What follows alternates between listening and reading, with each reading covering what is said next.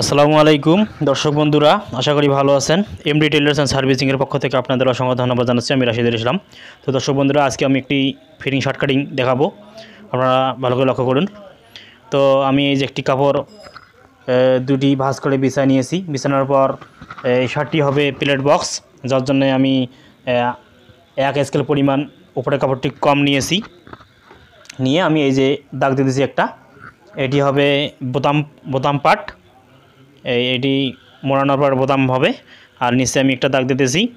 এটি স্ট্রেট এখান থেকে আমরা মেজারমেন্ট নেব। তো মেজারমেন্ট কীভাবে নেই, আপনারা ভালো করে লক্ষ্য করুন। এখানে আমি দুই ইঞ্চির দাগ দেবো একটা। কারণ এখানে চাইনিজ শার্ট হবে। দুই ইঞ্চিতে দাগ দিলাম। এবং এখান থেকে আমি লম্বার দাগ দেবো। এই যে নিচে দেখতে পাচ্ছেন যে আমাদের মেজারমেন্টই দেওয়া হয়েছে শার্ট কাটিংয়ের আঠাশ ইঞ্চি লম্বা। এখানে একটা দাগ দেবো। এবং দুই ইঞ্চি শোল্ডার ডাউন ডাউন দেবো। এখান থেকে ছত্রিশ ইঞ্চি বডি যার জন্যে দুইশোটা কম, নয় ইঞ্চির দাগ দেবো এবং সাড়ে ষোলোর দাগ দেবো নিচ্ছি ঠিক ওইভাবে সামনে একই দাগগুলো দিয়ে দেব। এখন এগুলো সোজা মার্জিন টানবো। তারপর আমি আপনাদের ভালোভাবে দেখাচ্ছি, আপনারা লক্ষ্য করুন ভিডিও শেষ পর্যন্ত দেখবেন, একটু কেটে দেখবেন না। পনেরো ইঞ্চি গলা, আমরা আঠারো আড়াই ইঞ্চির দাগ দিলাম একটা। এখানে আঠারো ইঞ্চি হচ্ছে শোল্ডার। এখানে নয় দুগুণু আঠারো দুইশোটা বাড়তি নেব, নিয়ে দাগ দেবো। আর এখানে বডি হচ্ছে ছত্রিশ ইঞ্চি, চার লং ছত্রিশ এবং পনেরো দুই ইঞ্চি আমরা প্লাস করে দেব। ঠিক ওই মাপে নিচেও একই মার করব। আর এখানে চৌত্রিশ ইঞ্চি বডি আছে, চৌত্রিশ ইঞ্চি এবং ওই পনেরো দুই ইঞ্চি প্লাস করব। এখন এগুলো দাগ টানবো আপনারা লক্ষ্য করতে থাকুন, দেখতে থাকুন। এই এখানে শেপ স্কেল দিয়ে এইভাবে সুন্দরভাবে রাউন্ড করে নিতে হবে, কারণ এখানে যত সুন্দরভাবে রাউন্ড হবে, তত ভালো হবে শার্টের কোয়ালিটি আর এখানে তো এইভাবে দিতে হবে এই স্কেল দিয়ে। এখানে সাড়ে চার ইঞ্চি, চার ইঞ্চিতে একটা দাগ দিয়ে আপনারা শেপ স্কেল দিয়ে রাউন্ড করে দেবেন। তো এখন কাটিং হবে। আমি দেখাচ্ছি আপনাদের। দেখতে থাকুন আমি কীভাবে কী করতেছি। এখন দাগ তো হয়ে গেল দেওয়া। আপনারা এই দাগ বরাবর কাটিং করবেন। তো দর্শক বন্ধুরা, যারা আমার চ্যানেলটিকে এখনও সাবস্ক্রাইব করে নাই, তারা সাবস্ক্রাইব করে নেন এবং বেল আইকনে ক্লিক করেন। ফেসবুকে পেজে আমার ভিডিও দেখলে একটা লাইক করবেন কমেন্ট করবেন, বন্ধুদের মধ্যে শেয়ার করে দেবেন। তো দেখুন, শার্টের কোয়ালিটি কত সুন্দর হচ্ছে। এভাবে আপনারা চাইনিজ করে এটা চাইনিজ বলা হয় চাইনিজ এগুলো আর এগুলো কাটমার করে নেবেন। কাটমার তো অবশ্যই করতে হবে কাটমার করলে সেলাই করানো সুবিধা হয়। এখন আমরা ব্যাক পার্ট কাটিং করব। ব্যাক পার্ট কাটিং আমি অনেক ভিডিও দিয়েছি। ব্যাক পার্ট কাটিং করার জন্য সামন পার্ট থেকে পেছন পার্ট একটু কম নিতে হয়। বোতাম পার্ট যখন আমরা বোতাম লাগাবো তখন পেছন পার্ট এবং সামন পার্ট এক সমান হবে। তো এই দেখুন, আমি কীভাবে কি করতেছি আপনারা ভালো করে লক্ষ্য করুন। আর আমার ভিডিও আপনারা সম্পূর্ণ দেখবেন, কারণ আমি ভিডিওর মাঝে অনেক কথা বলে থাকি, অনেক পরামর্শ দিয়ে থাকি। আপনারা লক্ষ্য করবেন, এই কাটমার করে নিতেছি আমি এই শার্ট কাটিং করতে যা যা করা দরকার আমি তাই করতেছি, আপনারা লক্ষ্য করতে থাকুন, দেখতে থাকুন। আমি কীভাবে কাটিং করতেছি, সামন পাট্টি, এর মোড়ার এই জায়গায় কী পরিমাণ রাউন্ড দিয়েছি এবং ব্যাক পার্ট কী পরিমাণ রাউন্ড দিলাম, এটা লক্ষ্য করতে থাকুন, দেখুন। এবং নেসের হেম হাফ ইঞ্চি শর্ট রাখতে হয় ব্যাক পার্ট আমি শর্ট রেখেছি, তা দেখালাম। এখন আমি হাতা কাটিং করে দেখাবো। আপনারা লক্ষ্য করতে থাকুন। ভিডিওটি লং হতে পারে। আপনারা তারপরে দেখতে থাকুন, শিখতে পারবেন। এখন এই পার্টটি দুটি ভাঁজ করে নেব। আপনারা সবসময় কাপড় উল্টা পাটে মার করবেন বা কাটিং করবেন, কারণ উল্টোভাবে কাটিং করতে হয়।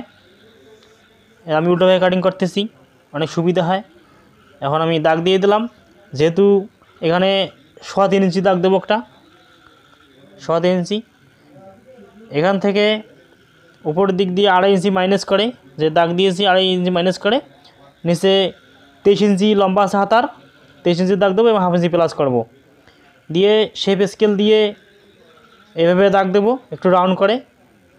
কারণ রাউন্ড করে না দিলে পরে সেলাইয়ের সময় যখন যে জায়গায় সেলাই দেই, সেই জিনিসটি উপরে উঠে যায়।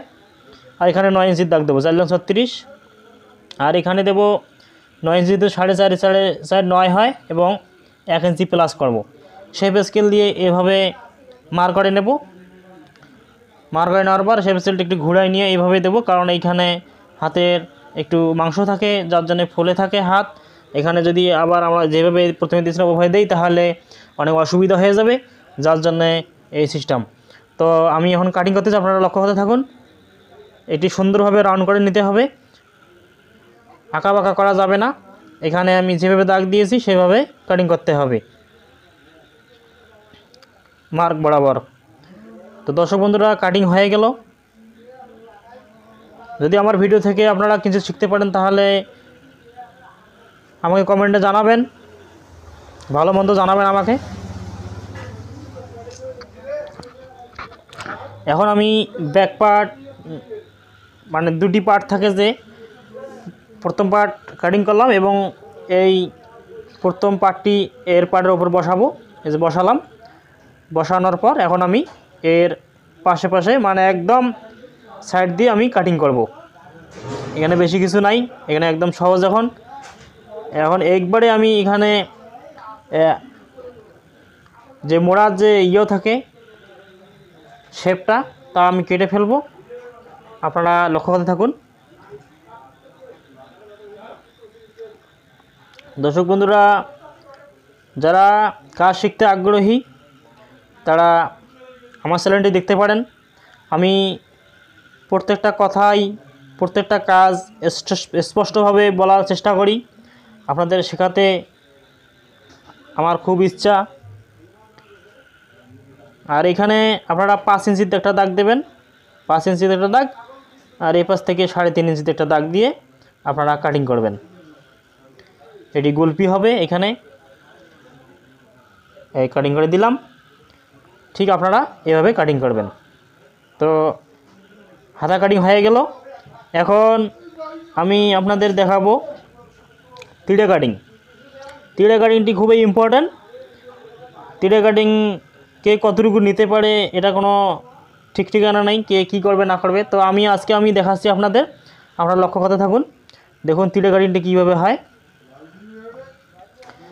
এটি প্রথমে সোজা করে নেবেন আপনারা। একদম স্ট্রেট করে নেবেন। নেওয়ার পর এটি কাটিং করে দেবেন। সোজা হয়ে গেল। এখন ওখান থেকে আমি মেজারমেন্ট করে দেখাবো। সাড়ে পাঁচ ইঞ্চিতে। সাড়ে পাঁচ ইঞ্চি দাগ দেবো একটা এবং নিচে দেড় ইঞ্চিতে দাগ দেবো একটা। ঠিক একইভাবে সাড়ে পাঁচ ইঞ্চি, দেড় ইঞ্চি। দিয়ে স্কেল দিয়ে সোজা দাগ দেব। দাগ দেওয়ার পর দেখুন এখানে এখানে আড়াই ইঞ্চি আমরা নিয়েছিলাম প্রথমে বডিতে। এখানে দুই সুতে কম তিন ইঞ্চি দাগ দেবো একটা। মানে পনে তিন ইঞ্চি। আর এখানে দেখুন এই যে আমি আপনাদের দেখাচ্ছি সরাসরি। এখান থেকে ব্যাক পার্টটি এইভাবে দাগ দেবেন, দেওয়ার পর এই মেজারমেন্ট এভাবে দাগ দিয়ে দিলেন। এখন ফরম পার্টের এইখানে থেকে এই পর্যন্ত, এই মার পর্যন্ত দাগ দিয়ে দেবেন সেই স্কেল দিয়ে আপনারা এভাবে একটা মার করে দেবেন। দেওয়ার পর এই স্কেল দিয়ে এই বরাবর একটা দাগ দেবেন। হয়ে গেল, এখন রান করে দিয়ে আমরা কাটিং করে দেব। এই যে, সুন্দরভাবে রাউন্ড করে কাটিং করে দিলাম। কাটিং করার পর আমাদের কাজ মোটামুটি শেষ। তো দর্শক বন্ধুরা, একটু মিলাই দেখাই আপনাদের কীভাবে মিল হয় এটার জিনিসের। মিল না হলে তো খারাপ দেখা যাবে, এই যে মিল করে দিতেছি, একদম মিলে যাবে এবং ব্যাক পার্টের উপর এটা বসাই দিলাম এবং এই সামন পার্ট এর এই উপরের অংশটি মিলাই দিলে এই যে মিলে গেল, একদম সুন্দর। তো দর্শক বন্ধুরা, ভালো থাকবেন, সুস্থ থাকবেন, আমার জন্য দোয়া করবেন। আসসালামু আলাইকুম রহমতুল্লাহ